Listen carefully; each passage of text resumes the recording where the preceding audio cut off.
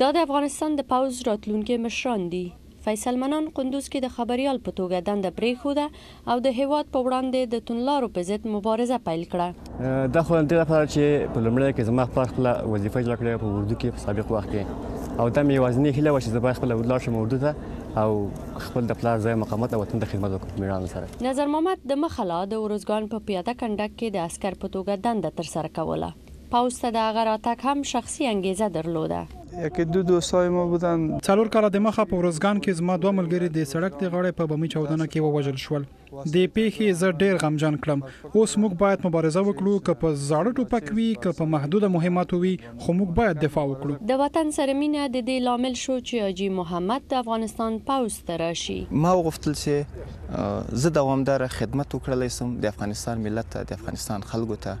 او د افغانستان له جغرافیه نه زه دفاع وکولای سم زه باید یو افسر اوسم څو وکولای سم چې یو رهبری سالم رهبری مخته ویسم کابل ته څیرمه د افغانستان ملي اکاډمي د 2014 کال په اکتوبر کې پرانیستل شوه او په لږ وخت کې لس زره درخواستۍ ورته وشوې. د نهه سوه او شلو کسانو نه چې په رواني او جسمي ازموینې کې برخه واخیستله، یوازې دوه سوه او اویا تنه کامیاب شول. زموږ لپاره تر اوسه داسې کوم کار سخت ونه شو، ځکه هغه چې راوتلي یاستو پکې چې هر کار وي هغه موږ ته بس اماده یاستو، هېڅ کار موږ ته ستونزمن نه دی، که هغه درسي وي، که فزیکي وي، که هر تعلیمات وي، که هغه په عراضي کې وي، که محاربه کې وي، هېڅ کومه ستونزه نه لرو ورسره، بس ټول چمتو یاستو. محصلین که از دوره تداوی به دوره.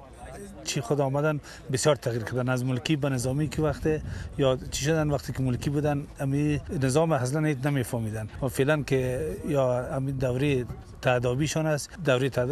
ملکیشان به تعدابی چی شده ای بسیار زیاد عالم میفهمن ام نظام میفهمن به نظام مرش میکنن به نظام درسخانه میرن به نظام نان میگیرن همه چیزشان به نظام است فعلا بیخی یک نظامی مطلق شو. په یقین چې یوې کلنۍ روزنه په عسکرو باندې رواني او جسمي فشار اچولی و، خو نظر محمد وايي، د سختو تمریناتو ګټه د جګړې په ډګر کې لیدلی شي. همین تاکتیک های صحرایی است. موږ ته د دښتو روزنې راکړل کېدل چې ګران او د ازموینې ډکې وې، خو زموږ لارښود به تل ویل چې په روزنه کې خولې تویول د جګړې په ډګر کې د وینې تویولو مخه نیسي.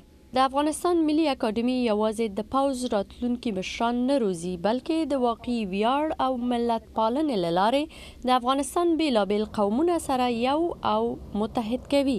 زه د افغانستان له ټولو خلکو سره دلته وینم او ټول په یوه ملي روحیه کې او په یو ملي لباس کې چې زه وینم او په یو ملي وحدت کې چې زه دوی وینم، زه ډېر افتخار کوم او ډېر خوښ یم او خوشحاله یم چې برېښنا عمر خېل دامریکا غږ آشنا تلویزیون واشنګټن.